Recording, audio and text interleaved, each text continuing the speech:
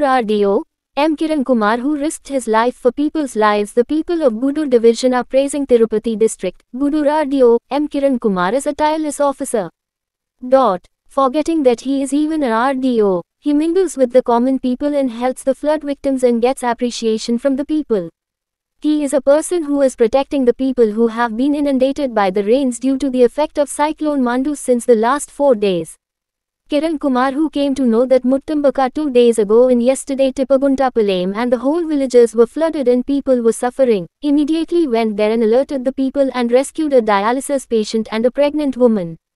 Knowing that the pond of Gottipedu village of Balayapalli Mandal was going to break, he risked his own life and went across the deep water to alert the authorities and the people. He gave proper instructions to provide the necessary facilities to the people without causing any danger to their lives.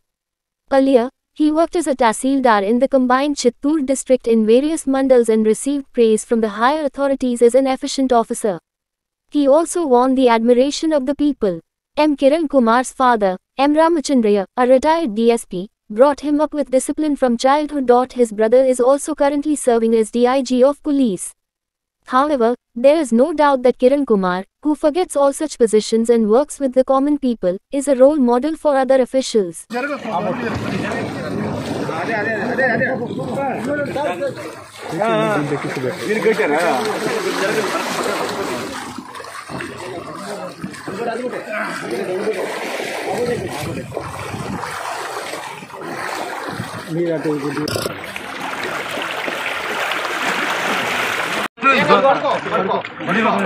అనుకో సార్లే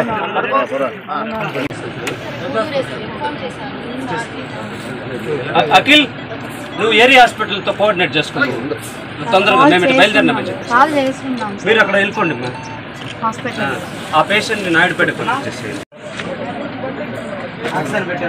కాదు. ఏం కాదు ఇంకా. Oxygen తగ్గుంటే నీకు బాగా breathing problem అనిపిస్తే చెప్పు ఇంజక్షన్ ఇస్తాం. నీకు ఎక్కువగా ఆయాసం ఉంది అని అనిపిస్తే చెప్పు. ఒక్క నిమిషం సార్ డోర్లే